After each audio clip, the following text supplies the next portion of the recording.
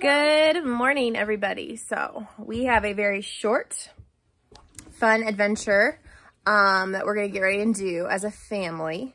Um, we've all been working super duper hard on different things here on the homestead. And mommy noticed something yesterday. And so we're going to take all the kids out so they can see some of the fruit of their labor. All right, Lexi, you ready? Uh-huh. D, you got your hat on. Spencer? Oh, yeah. You ready, dude? Oh, yeah. I'm ready. right, Lane's ready. Ooh, Nathan, you bringing breakfast to go? Yep. All right, let's go. Oh, yeah. This is so tall, Bob. Mm-hmm. The peas are looking good. All right, let's go before Mo. Let's go before Mo boats. Hey, Lulu, let's not bring the kittens with us on our adventure, okay? Can you take you get back, please? We have boots, guys. Remember. Bob. Mo is losing his marbles. Um, hey DJ, will you run up and turn the irrigation off real fast? Yes. Or uh, we're gonna get wet.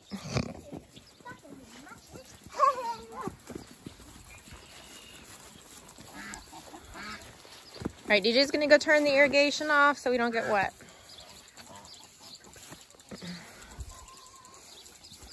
See it, man. One, two, three. Whee! Hang on, Lane. Lane, you're still walking.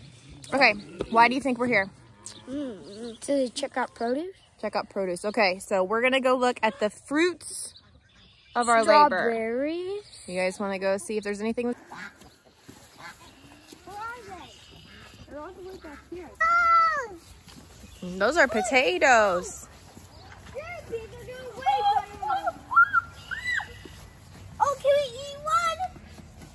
Do you guys see them? Two, three, four. We eat them? Okay, so Daddy made Dutch babies, and he thought it might be fun to put your strawberry on your Dutch baby if you want. Let's So see it. pick one. I'm gonna pick a big one. I got the biggest one. Nope.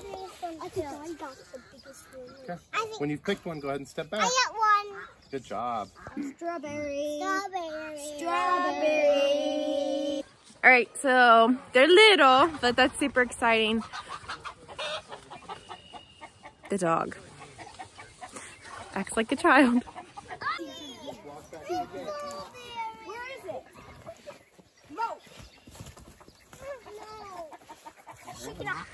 All right, so some of them are little, but we've got our first strawberries of the year. Which is exciting. Yeah, do you do you want to show them the strawberries in your bed? Okay, come on, sister. Hi, chickies. Oh, now, are we going to eat these strawberries? No. All right, show me your strawberries. Strawberries. They're starting to get big, aren't they?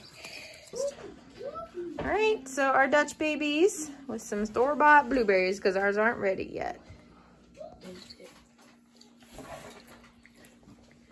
I saw them. Mm-hmm. I was looking in the binoculars. Mm-hmm. Me too. I saw a week before you did. Dee. Okay, so those little strawberries probably have more flavor than a whole carton of store-bought out-of-season strawberries. So if you have room for strawberries, 100% grow them because they are absolutely delicious and fresh. And even the itty bitty ones are full of flavor and deliciousness. So thanks for joining on joining us on this very short yet fruitful and fruit-filled adventure as we sprinted out to the garden really fast before breakfast. Hope you guys have an awesome day and we'll see you in the next video.